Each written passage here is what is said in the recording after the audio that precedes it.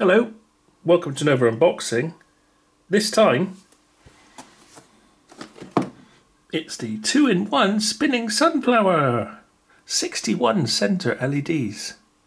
And it's got a remote control as well. So this is a bit more upmarket than I've done another video of uh, this one here, which is five pounds. And this one was, I think it was 18 or 18.99, so there's a lot more money but a lot more LEDs being central as well this time and a remote control so you'll be able to change things. So what's it say? Two in one magical LED light effect. Didn't know there was any magic involved. Sunflower 47 RGB LEDs switchable on and off. Center light effect 61 RGB LEDs. Strobe with adjustable speed, auto and sound active mode. Strong sunflower and center beams including remote control. Well, that sounds like the dogs. So let's open it up and see what we get. And is it a UK transformer as well? That's the other thing.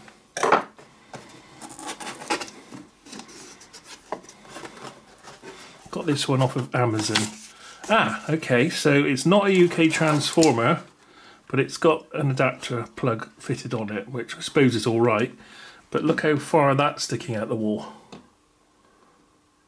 I hate these styles. I wish they'd go flat, so at least it would go down. But you know, it is what it is. So it is 24 volts at one amp. So uh, oh, needs quite a bit of juice then. And we've got a remote control here with on off, reset, LED on off, flash, auto sound, and some ups and downs, increase decrease, with the battery included and a little thing you just pull out protection. And the unit itself and some more protection so it's quite quite well boxed. Survive a journey from China. And on the first look at it it looks quite impressive actually. These look like quite high, high output LEDs and they're RGB as well. There's quite a few of them because normally with these sort you just get them round the sides for the effect on the wall but this one has a front firing as well so this is a a different beast. So there seem to be two holes. I, I, imagine that's the microphone, but I don't know what that one is. Unless that's some sort of tiny adjustment. Don't know what that one is. Light sensor, maybe? Doubt it. I don't think it senses light very much. Oh well. Anyway, so uh, for the money, you're getting a nice trans you know, it looks like a proper transformer, even though it has got an adapter plug on. But at least you can use it straight away. That's what I prepared earlier. The lead is not very long. I'd say hardly even a meter, which is a bit annoying with something that you uh, want to put on the wall, or, or you probably want to put it a distance away from your plug socket. Put it that way. So, bit annoying but you can do something about it. You can buy an extension lead, like this is a five meter one, and they're reasonable price on Amazon. Just have a look at something that just says DC extension lead, and they're usually rated up to about 48 volts, something like that. It's really talking low voltage here. And then you can just extend it five meters, like that.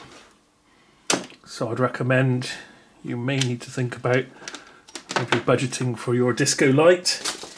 You might want to think about extending that a little bit.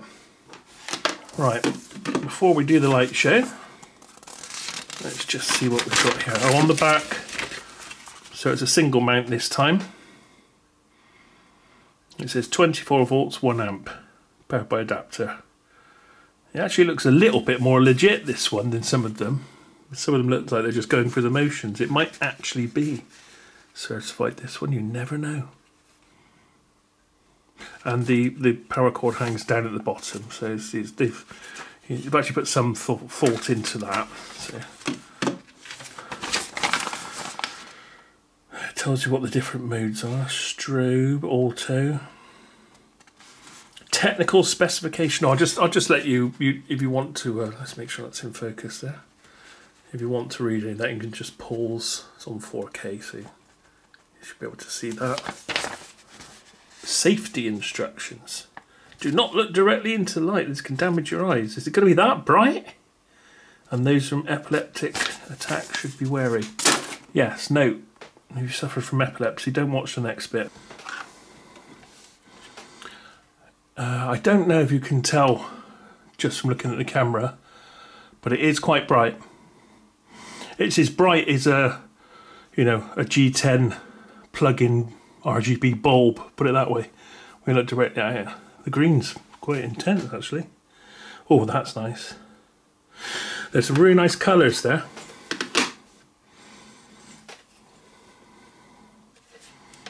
So I think for the best effect here, I'll go and turn the light off.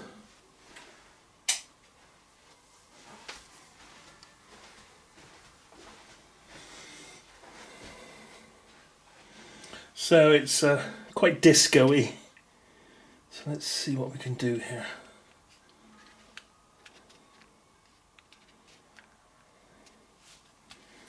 So those don't seem to do anything at the moment. I've got the wrong remote control, that's why.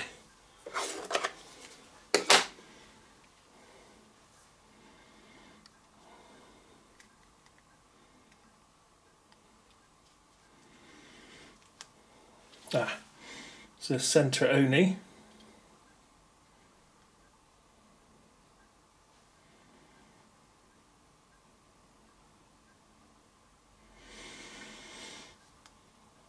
And then with the sunflower effect.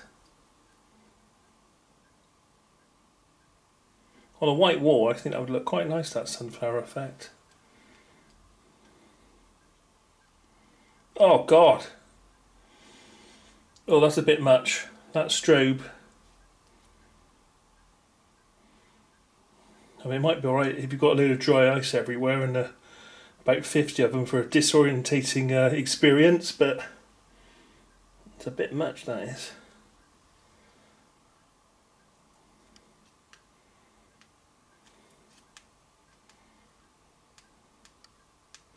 Ah, what have I done now? Ah, sound activated.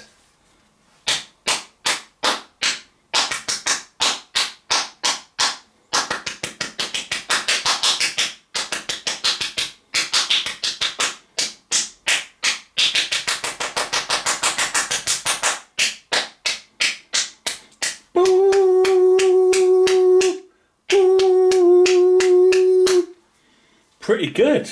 Like the sound activated. It's got to be reasonably loud though.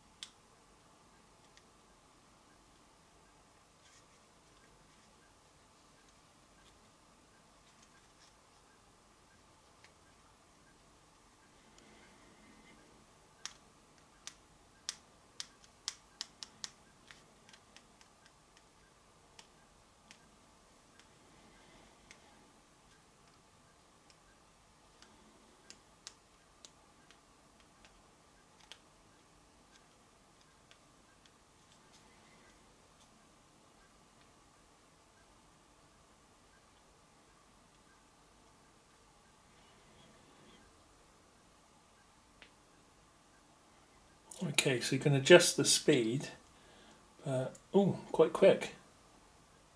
Doesn't look like you can get the. There must be a way of turning the inside ones off. Surely.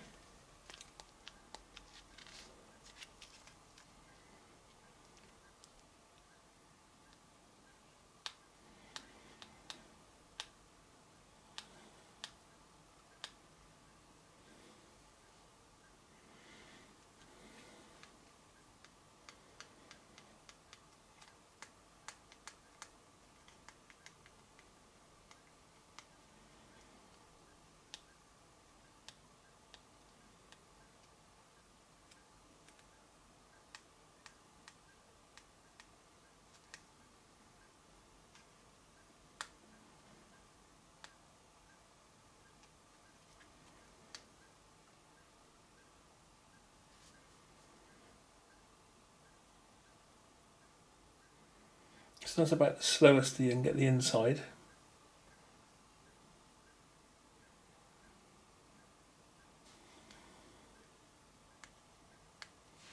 Okay, let's put the light back on.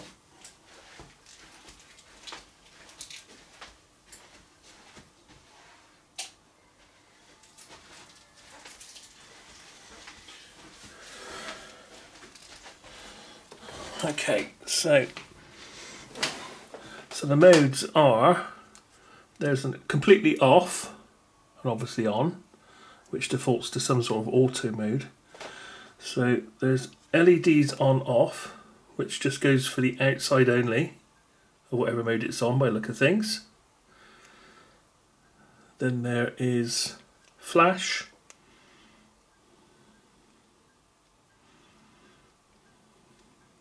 and auto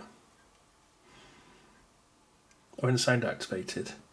But these two speed things, one's one's for the outside and one's for the inside, the two speeds. Once you get down to the slowest speed, it goes to the fastest one.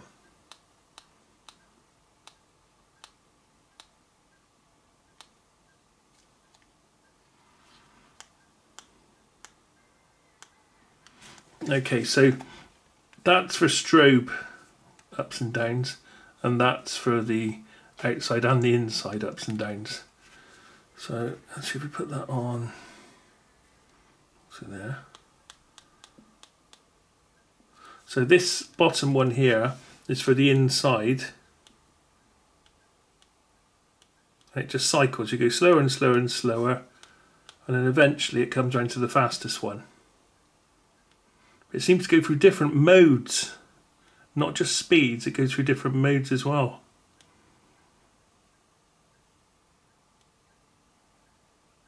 You see, so each all of them going RGB now, all at the same time. The other mode was opening outwards. Turn another one?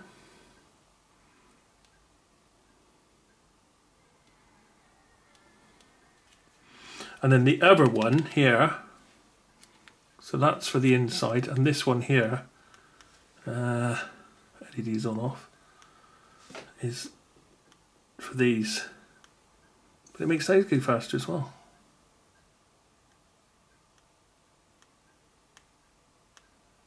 No it didn't know. Okay.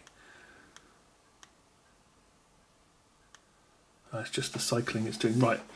So that's for the outer wheel speeds that's for the inner wheel speeds and that's for the strobe up and down. Then there's, you can turn the outside off, but not the inside.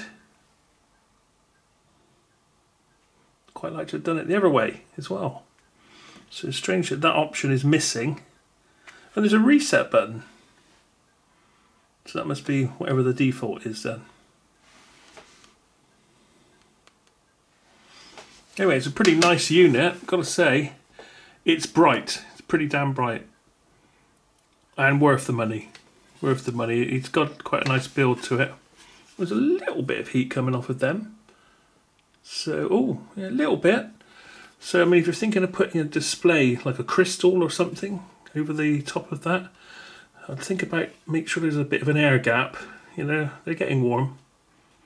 And obviously, LEDs, they can last for years and years and years, as long as they don't overheat.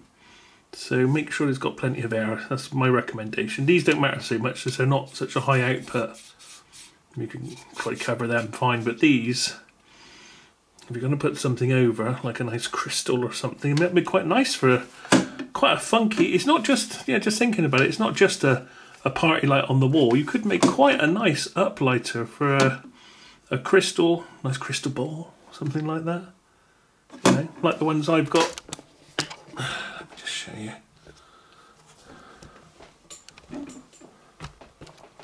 Over there. See, I've got uplighters on, on those crystals there. There. And in fact, that circular thing would, would be quite a nice replacement for this, but I've got an infinity mirror there with my uh, Shiva. Is it Shiva? I think it is. Yeah, so those uplighters, they're nowhere near the power of these. So that is an alternative use, not just the, uh, a disco light. It can also be a very good up lighter. You can have it on the floor, I guess, to accent a corner. It doesn't appear to be too hot on the back, but there are air holes. So I would think maybe get some little rubber, you know, those self-adhesive um, rubber pads, stand it off a bit and put a few of them so there's a bit of an airspace. Just think about cooling, especially if you're going to put it on a carpet, say. I'd probably put it on a, you know, a tile, maybe. So, okay, like this sort of thing. Let's just come back a bit. So yeah, so that's what I was thinking. These these rubber, you know, sticky things, you could space it off to get the air underneath if you're going to put it on a wooden floor.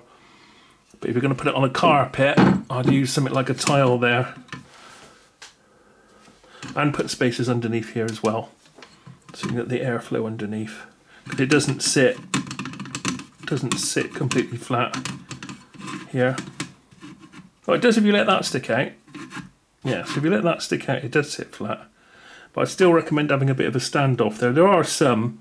It might just be worth making sure it's nice airflow under there. Might be alright, because these are standoffs here, these three. That could be alright. Yeah. But I'll definitely make sure that this isn't completely sealed off, like with a glass top or something. Make sure these don't get too hot. Should be fine. Should make a nice um, uplighter for some crystals. But I'll go and get one. I'll go and get one. Well, i got to say that is uh, quite nice.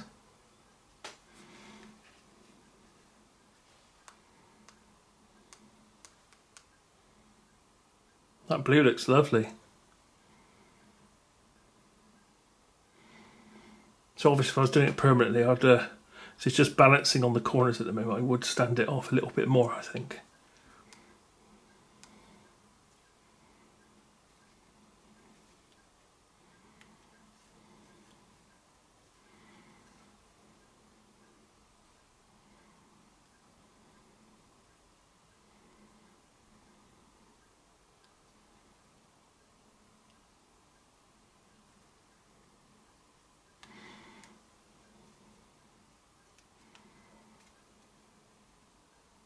Uh, Strobe's actually better on this sort of thing.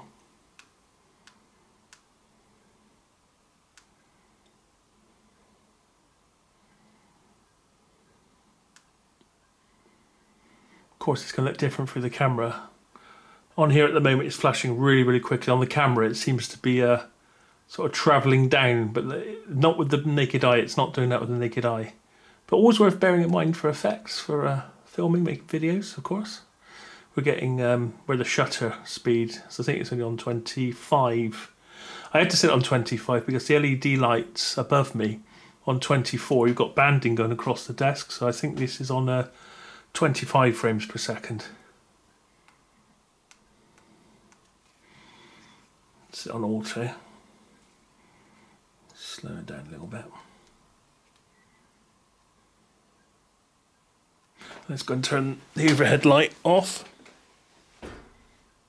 You'd make a super stand as long as you um, put something over the top with a little bit of, like I say, of an airspace. So maybe a, a small bit of perspex or glass or something, depending on what weight. Some little standoffs, it'd be fine.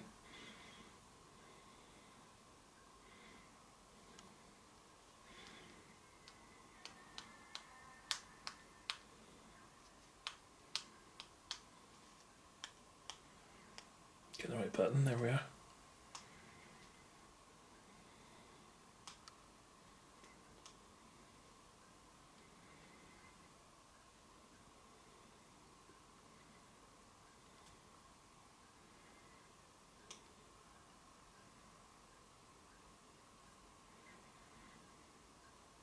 So obviously as the LEDs open out it becomes brighter and less bright. You get just some in the middle. That's quite a nice effect.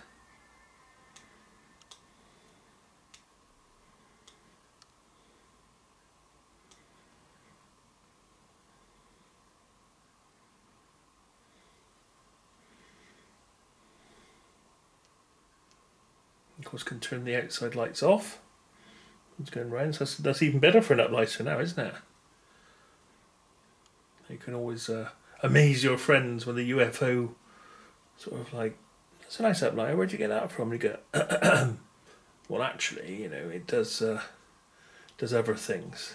Oh yeah, like what? Well, if I can find the right button, like that. You go, oh, that's nice. Or, oh, that's not nice because I'm jealous and I want it.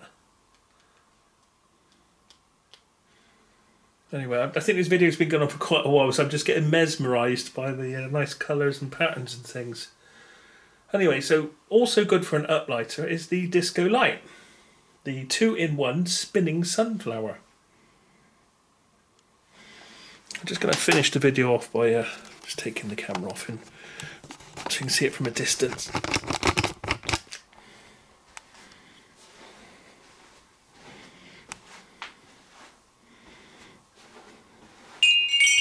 Hit the, uh, what do you call it?